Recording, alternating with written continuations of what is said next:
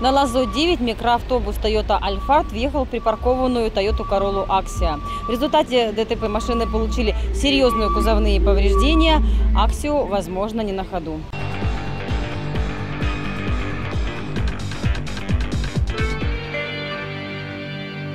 Водитель Toyota Corolla Axio припарковал свою машину на Лазо 9 у обочины дороги и пошел на работу. В четвертом часу дня, услышав в кармане брюк, пропищала сигнализация. Вышел на улицу и увидел неприятную картину. В припаркованный седан врезался микроавтобус Toyota Alphard. Работала сигнализация, вышел. Ну, результат на лицо. Ну, а эмоции, что? Ну, это жизнь бывает. Как бы, человек явно не специальный, как бы, видно и по возрасту, и по когда выданы права, то есть давно за рулем.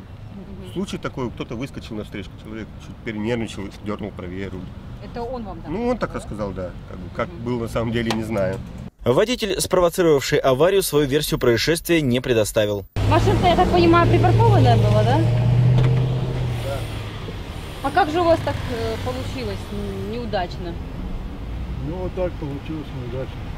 По словам рулевого Аксио, после того, как Микрик влетел в седан, тот по инерции откатился в припаркованную малолитражку. Toyota BB не получила никаких повреждений. Водитель машины, дождавшись полицейских, отчитался, мол, претензий к оппонентам не имеет и уехал с места происшествия. Шофер Микрика и рулевой легковушки остались и приняли участие в оформлении ДТП. Альфард и Аксио получили серьезные кузовные повреждения. Автомобили сильно прилипли друг к другу, и хозяева не знали, как к ним подступиться, чтобы подсчитать ранения разбитых авто.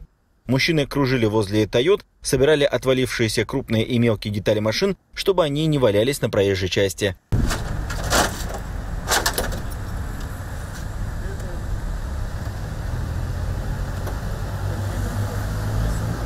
Потом участники происшествия аккуратно рассоединили разбитые автомобили. Оказалось, что Микрик на ходу, но доедет лишь до ближайшей автомастерской.